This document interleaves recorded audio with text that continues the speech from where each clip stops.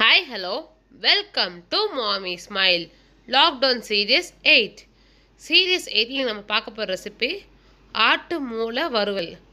அதுதான் code brain fry ரொம்ப ரொம்ப ஒரு ஹெல்த்தியான ஒரு நான்வெஜ் ரெசிபி இது எப்படி பண்ணுறதுன்னு பார்க்குறதுக்கு முன்னாடி இதில் இருக்க நன்மைகள் பற்றி நம்ம பார்க்கலாம். இதில் ஒமேகா த்ரீ ஃபேட்டி ஆசிட்ஸ் வந்து ரொம்பவே ஜாஸ்தியாக இருக்குன்னு சொல்கிறாங்க அதுவும் இல்லாமல் முதுகு தண்டுவடமான ஸ்பைனல் கார்டுக்கு ரொம்ப ரொம்ப சத்து உள்ளதுன்னு சொல்கிறாங்க ரொம்ப நல்லது ஒரு பக்கம் இருந்தாலும் அது அளவு தான் சாப்பிட்ணும். ஏன்னா இதில் கலோரிஸ் வந்து ரொம்பவே ஜாஸ்தியாக இருக்குது ஒன் டுவெண்ட்டி த்ரீ கலோரிஸ் வந்துட்டு ஒரு ஆட்டோட மூளையில் இருக்குது ஒன் டுவெண்ட்டி த்ரீ கலோரிஸில் ஃபார்ட்டி பர்சன்டேஜ் ஆஃப் கலோரிஸில் வந்துட்டு ten point six grams of protein ஸ்ட்ரென்த்தே மட்டுமே இருக்குங்க. ஆனால் அளவாக தான் சாப்பிடணும். ரொம்ப ஜாஸ்தியாக சாப்பிடக்கூடாது. ஒரு ஆட்டோட மூளை சாப்பிட்றது வந்துட்டு ஒரு முழு ஆடு சாப்பிட்றதுக்கு சமமான ஸ்ட்ரென்த் வந்துட்டு அதில் கிடைக்குதுன்னு சொல்கிறாங்க ரொம்ப ரொம்ப ஹெல்த்தியான ரெசிபி. இந்த சுச்சுவேஷனுக்கு ரொம்ப யூஸ்ஃபுல்லாக இருக்கும். வாங்க எப்படி பண்ணுறதுன்னு பார்க்கலாம். நார்மலாக ஒரு கடாயை எடுத்துக்கோங்க. ரெண்டு டேபிள் ஸ்பூன் அளவுக்கு எண்ணெய் சேர்த்திக்கலாம். எண்ணெய் லைட்டாக சூடானதும் ஒரு டீஸ்பூன் அளவுக்கு கடுகு சேர்த்து நல்லா வெடிக்க வச்சுக்கலாம்.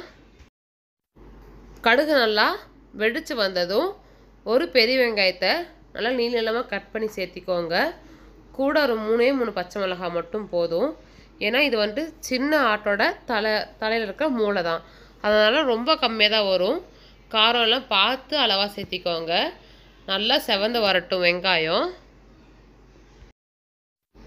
வெங்காயம் நல்லா கோல்டன் ப்ரௌன் ஆகிறத விட கொஞ்சம் ஜாஸ்தியாகவே நல்லா வதங்கணும். இதுதான் ஒரு ஆட்டோட முழு மூளை. நல்லா சுத்தமாக க்ளீன் பண்ணி நல்லா இந்த மாதிரி பிசைஞ்சு வச்சுக்கலாம். அப்போ தான் கட்டி இல்லாமல் நல்லா வெந்து நல்லா முட்டை போடுற மாதிரி மட்டும் உதிரி உதிரியாக வெந்து வரணும். அதுக்கு இந்த மாதிரி நல்லா பிசைஞ்சு வச்சுக்கோங்க.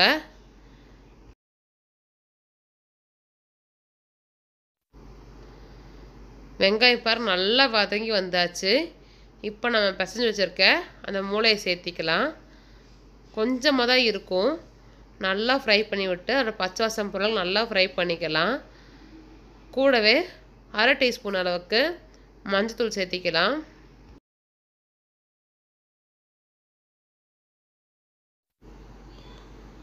உப்பு தேவையான அளவு சேர்த்திக்கலாம்.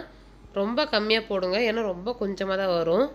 பார்க்குறதுக்கு நிறைய இருக்க மாதிரி இருந்தாலும் ரொம்ப கம்மியாக தான் வரும். ஒரு டேபிள் ஸ்பூன் அளவுக்கு பெப்பர் நல்லா கலந்து விட்டுக்கோங்க. கொஞ்சமாக அடி பிடிக்க ஆரம்பிச்சிரும். அடுப்பு சிம்மில் வச்சு நல்லா கலந்து விட்டுக்கோங்க. அப்போ தான் அதோட பச்சை வாசம்லாம் போய் நல்லா வெந்து வரணும். இப்போ ஒரு அரை டம்ளர் அளவுக்கு தண்ணி சேர்த்தி நல்லா வேக வச்சுக்கலாம். பாருங்க இப்போ நல்லா உதிரி உதிரியாக வேக ஆரம்பிச்சிருச்சு. நல்லா கலந்து விட்டு தண்ணி சுண்டுற அளவுக்கு நல்லா கலந்து எடுத்துக்கலாம்.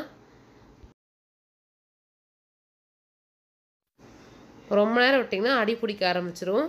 நல்லா வெந்து சூப்பராக ரெடி ஆயிடுச்சு நம்மளோட மூரில் பொரியல். சூப்பராக இருக்கும். உங்கள் வீட்டில் இருக்கிற குழந்தைங்களுக்கு செஞ்சு கொடுங்க. மறக்காமல் மாமி ஸ்மைலுக்கு சப்ஸ்கிரைப் பண்ணிக்கோங்க.